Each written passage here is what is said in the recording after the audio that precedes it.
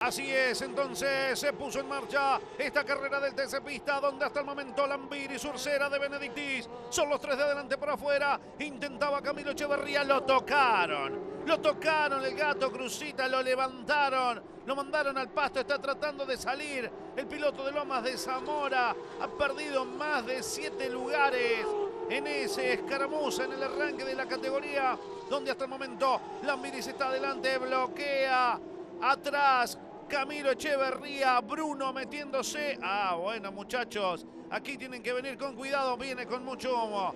Viene complicado el Colorado Nicolás Dianda. Tiene un golpazo a la parte trasera y eso hace que rozando con el neumático trasero izquierdo de la Coupé Dodge del piloto del equipo del Laborito Junior.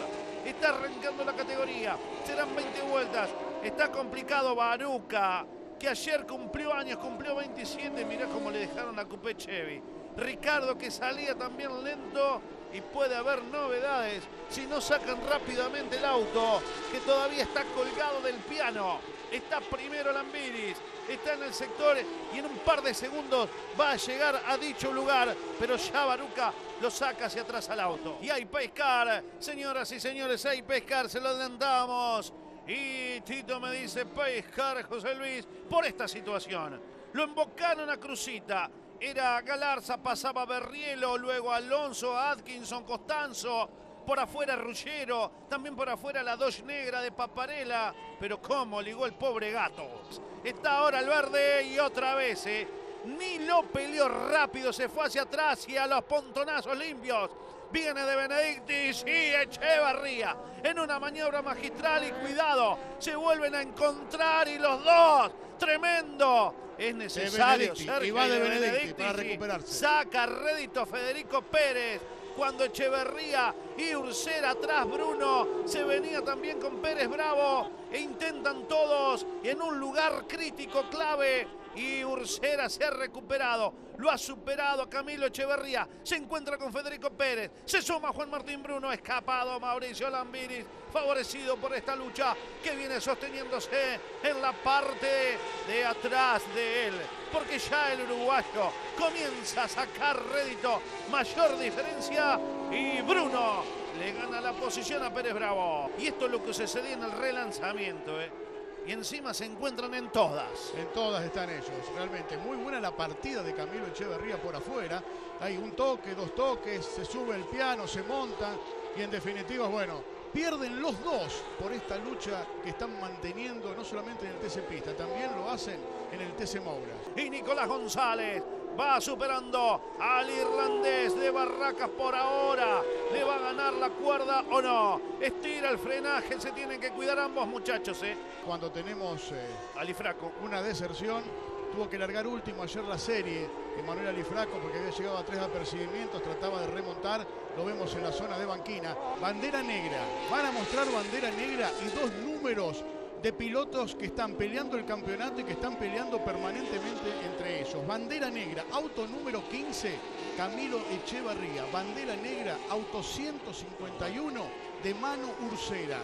En la carrera de las termas de Río Hondo hubo una reunión de integrantes de la Comisión Asesor y Fiscalizadora de la CTC diciéndoles basta, ¿eh? por todos los toques que habían protagonizado. Nos llega la información del comisariato deportivo que se les va a mostrar la bandera negra a ambos pilotos, a Mano Ursera, auto 151, y a Camilo Echevarría, auto número 15. Están tercero y quinto respectivamente en eh, las posiciones y están segundo y tercero respectivamente en el campeonato. Mientras atrás Nicolás González se encuentra con Pedro Pisandelli. Están buscando la posición número 16. Otro que avanza es el Gato Cruzita. Hace un ratito le decíamos ubicación 17 para el de Loma de Zamora. En el equipo de Alfredo Fernández. Ya el Gato Volador está decimocuarto Sergio. Fluido hablamos de Echeverría y Ursera. Aquí Berlín, mirá la contracara del último ganador de este escenario misionero, de Cucho Perrier. Y bueno, aquí está, eh, lo reiteramos una vez más. ¿sí? Se corren, van al piano. Y los dos afuera, los dos ya no están en carrera. Una sanción que sorprende a todos, mano, ¿cómo la viviste? ¿Qué tal? Sí, creo que sí, sorprende un toque de carrera. Echevarría se adelanta como en todas las largadas, no respeta la, distancia al de adelante, ni respeta la velocidad que, mantienen todo, ¿no? Si no es imposible que un auto que viene, no sé, como venía cuarto, quinto, no sé, eh, llega a la par del segundo. Y después la curva tiene agua, es imposible que yo mantenga una todo, doble todo por la cuerda. Es un toque de carrera, me roce un poco con él, después me vuelve, me pega antes de salir para arriba. Creo que es algo lícito, es la segunda neutralización que tiene ahora la carrera, la decimoséptima de la temporada. Lamentablemente la categoría tiene un promedio alto. Se va a poner en borde en este momento. Inteligente Franco. ¿eh? Se metió detrás para no ser sorprendido por Federico Pérez y Bruno, que frenó casi encima y atrás. Se viene dando Ferrante Ruggero. Se sumaba Berrielo. Se quedaba el Torino de Pedro Pisandelli. Se partió en tres. El pelotón porque a lo atendieron. Ay, me parece que es otra vez la ligó el gato, ¿eh?